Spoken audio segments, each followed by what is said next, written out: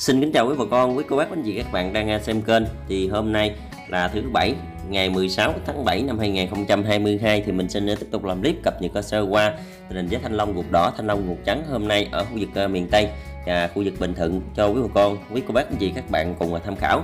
Thì ngoài cập nhật tình hình giá thanh long thì hàng ngày hàng tuần mình còn có làm thêm những clip cập nhật tình hình giá cả của một số loại nông sản khác trên kênh quý bà con quý cô bác quý anh chị nào có xem kênh có quan tâm đến thanh long hay một số loại nông sản khác hàng ngày thì có thể vào trong à, danh sách video ở trong kênh để xem.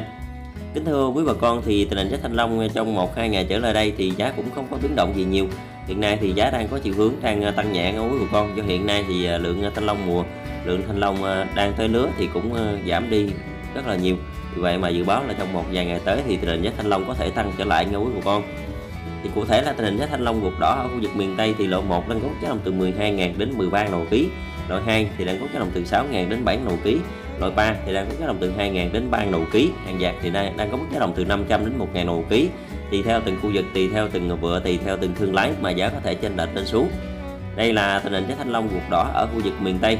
Giá này là giá tại vựa nha quý bà con. Tùy theo từng khu vực và tùy theo từng nơi mà giá chênh lệch lên xuống từ 1 đến 2.000 đồng ký. Còn tình hình giá thanh long ờ, ruột ờ, trắng hôm nay ở khu vực miền Tây thì thương lái đang mua xô với giá đồng từ 7.000 đến 9.000 đồng ký. Cũng tùy theo từng khu vực và tùy theo từng nơi mà giá trên là lên xuống. Còn tình hình giá thanh long ruột trắng hôm nay ở khu vực Bình Thuận thì cũng không có biến động gì nhiều so với ngày hôm qua.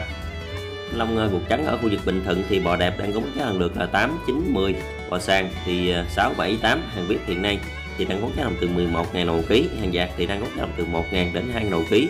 Cũng tùy theo từng khu vực tùy theo từng vựa tùy theo từng thương lái mà giá có thể chênh lệch lên xuống còn à, tình hình giá thanh long à, ruột đỏ hôm nay ở khu vực à, Bình Thuận thì cũng tương tự như khu vực miền Tây. Cũng không có biến động gì nhiều loại 1 đang có giá đồng từ 11.000 đến 12 đầu ký. Loại 2 thì đang có giá đồng từ 5.000 đến 6 đầu ký. Loại 3 thì đang có giá đồng từ 1.000 đến 2.000 đầu ký.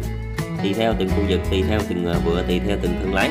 Trong một vài ngày vừa qua thì tình hình giá thanh long ruột đỏ và thanh long ruột trắng ở khu vực Bình Thuận và khu vực miền Tây thì cũng không có chênh lệch gì nhiều tới đây thì mình cũng xin kết thúc video ở đây. Xin kính chúc cho toàn thể quý con nông dân, quý chị, các bạn đang xem kênh. Để một ngày thật là vui vẻ, hạnh phúc, thật nhiều niềm vui và may mắn.